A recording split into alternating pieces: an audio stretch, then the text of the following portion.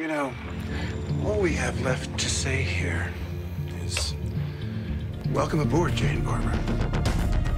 Thank you. Thank you, Mr. Ryker. You won't regret my hiring. My name is Amanda Warren, and I play Jane on The Purge. What motivates Jane is uh, determination, drive, success. Congratulations, boss. You did it.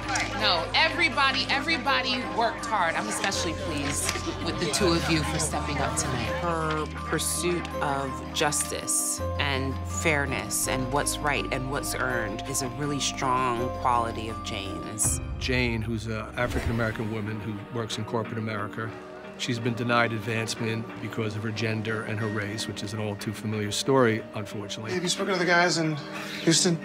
No. The Germans just pulled out, and I need this reworked by tomorrow morning. I'm sorry.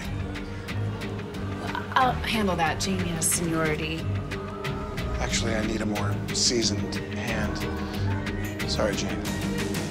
Things have taken a toll on her. There's been a lot of buildup to Purge Night, and a lot of things all of a sudden become intolerable.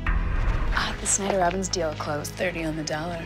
Oh, now we can stop dodging their calls. Yeah. Anya's killing it, don't you think?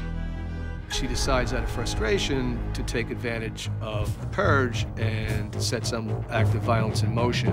I get it's your first time, but you don't have to be worried. I'm good at what I do. Thank you for that. Besides, you never expect a woman.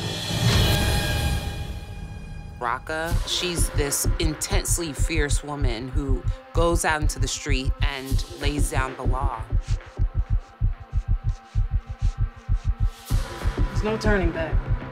You can follow my progress live through the app, right? You're third tonight. Depending on what I run into, it may not get filled for several hours. You got it? I got it. Jane's stance on this blood holiday is that it is legal, therefore, it is one's right to obey the law. She's a deeply centered, moral human being, and she realizes it's a mistake. It's not who she is. She sort of betrayed herself and her moral center. So she puts herself in grave danger to undo what she has set in motion.